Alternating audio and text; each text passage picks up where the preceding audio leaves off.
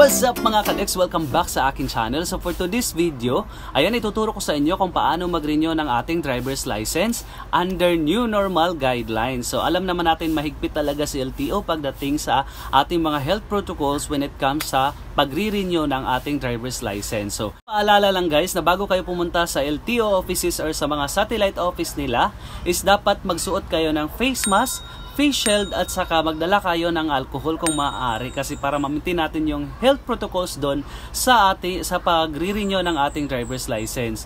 Sa mga gustong matuto na mag-renew ng ating driver's license under new normal guidelines, ayan huwag kalimutang tapusin na panuorin ang video na ito kasi siguradong marami kayong matutunan sa pagre-renew ng ating non-prop at saka professional driver's license. So, ituturo ko rin sa inyo kung ano mga requirements or magkano ang magagastos sa pagre-renew ng ating driver's license requirements bago kayo pumunta sa LTO offices or sa mga satellite office nila. At take note guys, paalala lang na hindi lahat ng office ng LTO is nagre-renew ng ating driver's license.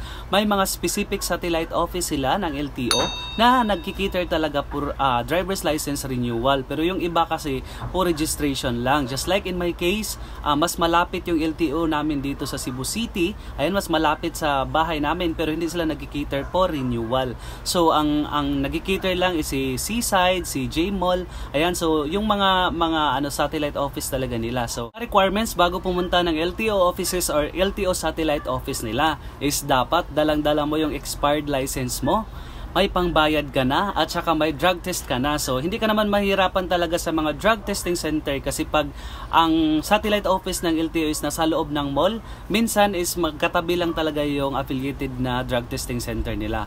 Pag nasa labas naman, minsan nasa harap or nasa katabi lang talaga nila kasi wag basta-bastang magpapa-drug test ng ibang drug testing center kasi kailangan affiliated talaga sa LTO. So, hindi yan i-honor. So, kung ano lang ang mga affiliated ng LTO na drug, drug drug testing center, doon kayo talaga magpapa-drug test kasi hindi yan i-owner ni LTO pag sa iba kayo nagpapa-drug test. Additional info guys galing sa Land Transportation Office kon LTO, nagpalabas ng bagong patakaran na simula October 2021, magiging 10 years validity na ang inyong driver's license. All you have to do is to attend the seminar or tinatawag nilang driver enhanced program. So, magiging 10 years na. So, simula October 2021. So, halimbawa pag nag-renew kayo ngayon, wala pang October 2021, 5 years pa yung validity para klaro lang guys. Ayan, kinaklaro ko lang. So, Paalala lang po guys sa mga gustong mag-renew ng ating driver's license, mapa non-proof or proof, hindi nyo na kailangan kumuha ng TDC or Theoretical Driving Course for 15 hours kasi hindi na yon kailangan. Ang kailangan nun is yung mga kumukuha na ng mga student permit o yung mga baguhan or kailangan mo ring mag-undergo ng practical driving course or yung tinatawag nilang PDC for 8 hours kung gusto mong pa-add-on ng restrictions. Like ako non-prop ako 1 to yung restriction ko. So kung gusto ko magpadagdag ayan kailangan ko mag-undergo ng uh, practical driving course for 8 hours. So yun yung kailangan talaga natin guys. So ayan So dumako naman tayo sa actual na renewal ng ating driver's license. So unang-unang requirements talaga guys is dapat mag-fill in kayo doon sa application form. Ayan yung application form is pwede mo siyang i-download uh, Land Transportation Office website.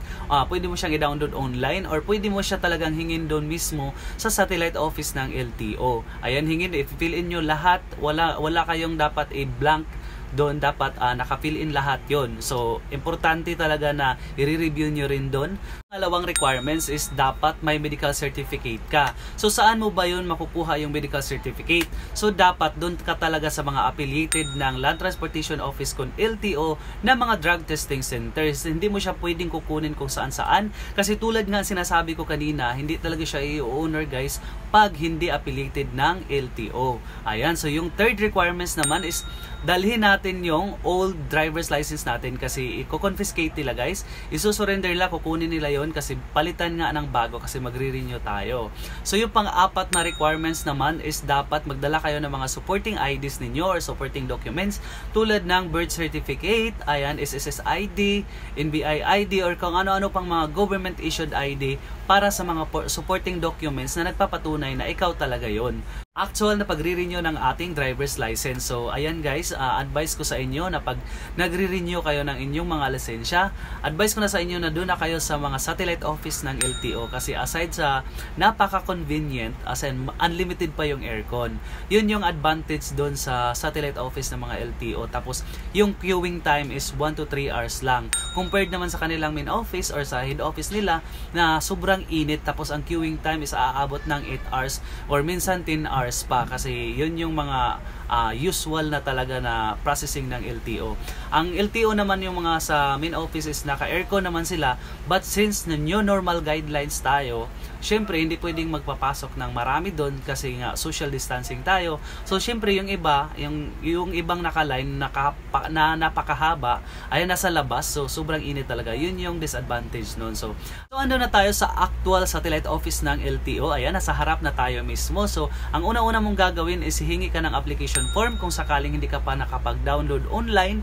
Ayan, so hingi ka ng application form doon tapos bibigyan ka nila ng priority number. So i-fill in lahat 'yun kung sakaling hindi ka pa nakapag-fill in lahat. So, after nun, bibigyan ka ng priority number, yun yung unang-una. Tapos, eh, advice nila na i-prepare mo yung requirements mo lahat kung anong kailangan for verification. So, ang pangalawa nun, magsasabit ka na ng requirements mo kasi tatawagin ka, magsasubmit ka ng requirements mo doon sa evaluator. So, yung evaluator kasi, iti-check nila kung tama yung mga information na nilagay mo doon, kung kumpleto ba yung requirements mo, kung ikaw ba talaga yon kung legit ba talaga yon So, pangatlo nun is andun ka na, pupunta ka na sa cashier, magbabayad ka, ayan. Pang-apat ay ang encoding kung saan magtitik sila ng picture para i-attach sa driver's license ID mo at after nun is uh, magsi-signature ka. So make sure din guys na yung signature mo is dapat maganda yung o tama yung pagkaka-stroke compared sa ibang ID mo kasi magagamit mo siya sa ibang transaction. So yung panglima naman doon is yung releasing. Ayan, so yun yung talagang makukuha mo na yung final na lisensya mo. So ayan, makukuha mo na yung bagong lisensya mo na bagong-bago talaga kasama ng official receipt, yung UR natin. So imposible, uh, importante kasi yun kasi minsan pag may license na tayo, so uh, hinahanapan pa rin tayo ng OR. So, ayan, importante talaga yon So, uh, paalala lang guys na uh, nag, naging successful tayo sa pag-process ng ating lisensya kung tayo mismo ang magpa-process. So, wag na tayong umasa or wag na tayong dumaan sa fixer kasi uh, siguradong uh, malaking problema talagang, malaking abala ang dulot talaga